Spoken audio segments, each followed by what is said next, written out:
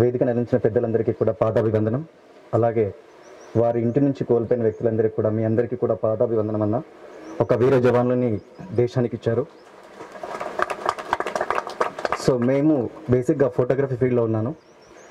నా పని నేను చేసుకుంటున్నప్పుడు నా దగ్గరికి మా మిత్రుడు వచ్చి జవాన్ల కోసం ఒకరోజు నిలబడాలి అనే కాన్సెప్ట్ తీసుకొచ్చాడు.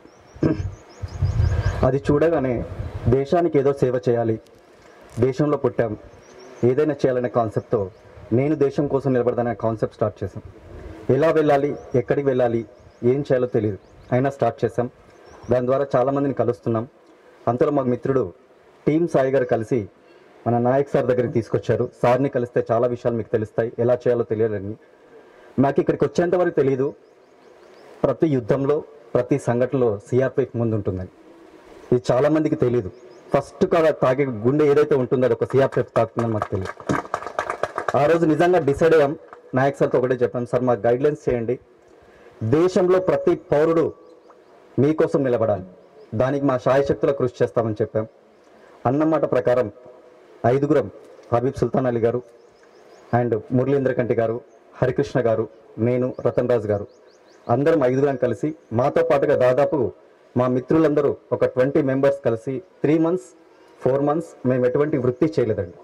టోటల్గా ఈ యొక్క కాన్సెప్ట్ మీదనే ఉన్నాం.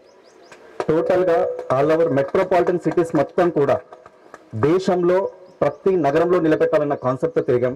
కానీ మాకున్న మ్యాన్ పవర్ లేకపోవడం కానీ లేక మాకున్న ఆర్థిక వనరులు కానీ లేకపోవడం వల్ల సౌత్ ఇండియాకే పరిమితం చేసి మేము ఒక కాన్సెప్ట్ క్రియేట్ చేసాం ఎవరి దగ్గర ఏమీ తీసుకోకుండానే చేసాం ఆ కాలక్రమంలో సార్ మాకు చాలా గైడ్లైన్స్ ఇచ్చారు. మేమేమనుకున్నామంటే ఎంతో కొంత అమౌంట్ సార్ చెప్పినట్టుగా అందరి దగ్గర నుంచి డొనేషన్స్ తీసుకుని ఇద్దామనగానే సార్ కూర్చోబెట్టి శ్రీనివాస్ గారు కాదా సార్ వాళ్ళందరూ కూర్చొని ఒక డిస్కషన్ చేసి డబ్బులు ఇస్తే ఈరోజు ఇస్తే రేపు అయిపోతాయి కానీ వాళ్ళ జీవితాంతం బతకడానికి ఒక ఉపాధి కలగజేస్తే బాగుంటుంది. ఈ దిశగా మీరు ప్రయత్నం చేయండి అని చెప్పినప్పుడు నిజంగా చాలా బాగా అనిపించింది. అరవై మూడు మంది లిస్ట్ తీసుకొని ఫోన్ చేసామండి మేము కంట్రోల్ చేసుకోలేము సార్. వాళ్ళకి వాళ్ళు మాట్లాడుతున్న విధానం చూసి. సో అప్పుడే డిసైడ్ అయ్యాం. అరవై మూడు మందిగా సార్ మీరు రెండు వేల రెండు వందల మంది కాలో ఇండియాలో మేము ప్రతిరోజు కష్టపడతాం చెప్పట్లేదు. నెలలో ఒకరోజు మేము వాళ్ళ కోసం కష్టపడతాం. వారికి ఏది అవసరం ఉంది? వారు ఏ విధంగా వారికి చేస్తే వారి జీవితాలు బాగుపడతాయి వారి పిల్లలు బాగుపడతారో తెలుసుకొని వారికి అయ్యే విధంగా మేము మా వంతు శాయశక్తుల కృషి చేస్తామని చెప్పి మీకు సభావేదిక కూడా మాటిస్తున్నాం సార్ దానికి.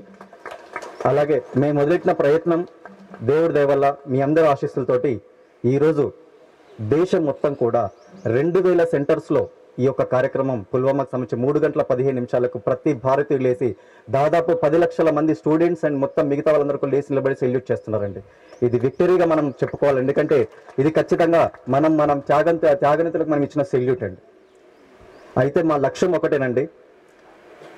నిలబడ్డము నిలబెట్టడం కాదు. దేశం మొత్తం కూడా వీర జవాన్ల కోసం నివాళులర్పిస్తూ ఉన్న జవాన్లకు మనోధైర్యం. అంటే సైనికుడు యుద్ధం వచ్చినప్పుడు సైనికుడు కాదండి. ప్రతి భారతీయుడు కూడా మేము సైనికుల ముందుకు వస్తామని ఒక అవగాహన కల్పిస్తూ సైనికుల కోసం ప్రతి స్కూల్ స్టూడెంట్ రాజకీయ నాయకులు సినిమా నాయకులు ఇండస్ట్రీస్ అందరూ కూడా ఒక్కరోజు ఒక్క నిమిషం నిలబడే విధంగా ఆ యొక్క డేని తీసుకొచ్చే విధంగా ఖచ్చితంగా ప్రయత్నం చేస్తామని చెప్పి మేము సభాముఖంగా కూడా తెలియజేస్తున్నాం. సో నాకు ఈ అవకాశం ఇచ్చారు. Thank you very much sir ఈరోజు కళా వేదికలో శిల్పకళా వేదికలో ఈవెంట్ చేస్తున్నాం. ఇదే ఈవెంట్ అలాగే అన్ని ఏరియాస్లో కూడా జరుగుతున్నాయి. మా వెబ్సైట్ ద్వారా అన్ని ఈవెంట్స్ కూడా మీకు అన్ని టెలికాస్ట్ చేయబోతున్నాం.